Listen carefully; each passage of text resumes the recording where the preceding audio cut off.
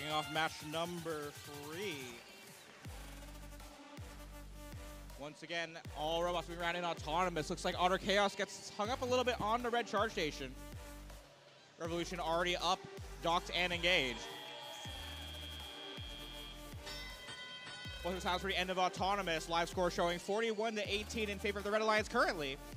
We'll see what happens. Looks like Blue Alliance trying to slow down Bare Metal's scoring efforts. They make their way into the red loading zone. Now quickly on their way back to the community with a cone in their manipulator. Titan Robotics Club scoring a cone up on the upper row of the grid for the Blue Alliance. That also completes a link, earning them an additional five points. Bare Metal coming in quickly to grab another cube from midfield. Driving past their alliance partner, Otter Chaos. And along comes 360, the Revolution, the third member of that Red Alliance going over to their human player at the dual substation to grab a cone. Over the Blue Alliance loading zone, we've got two robots over there looking to grab cones of their own. Out comes Titan Robotics Club with a cone. And looks like a Raven is going for a cube, their human player guiding them over here, over there.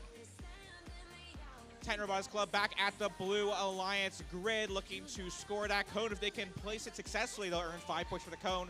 Five points for the link. They do so. That's going to be an extra net 10 points to their alliance score. Otter Chaos not seemingly moving very much right in front of the red charge station. They do seem to be connected. We'll see if they can figure out what's going on over there. As Bare Metal ramps on over, places another cone in scoring position and heads back to grab another. Here comes Raven to grab the last cube from center field. Oh, we get bumped by bare metal, and that cube goes flying over towards the red community. 30 seconds left. Raven heads back home into their community as Bare Metal rushes to grab yet another game piece to add to their grid. Lots of links being created by both of our alliances. Four links for the Red Alliance, two links for the Blue.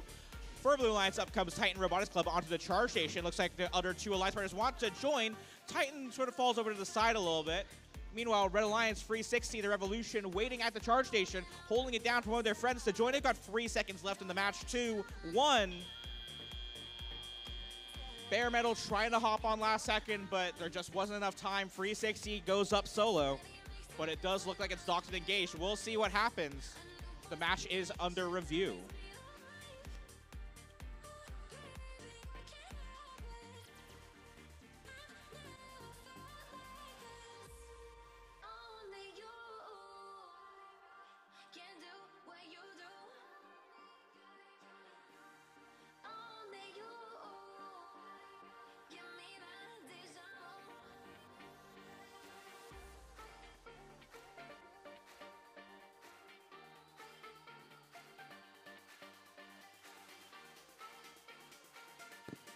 Our referees have completed their review of match number three, and we have your final scores for you.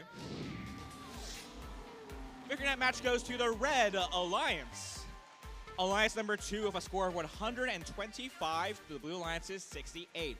Once again, we are still in round number one, so we aren't seeing any teams fall just yet. Blue Alliance does advance to the lower bracket, round two, match number six here from Free Matches Time. Take a look at the bracket here. We do have match number four coming up. We'll see who is facing our alliance number two. In just a moment, will it be Alliance three or Alliance 6? We'll find out.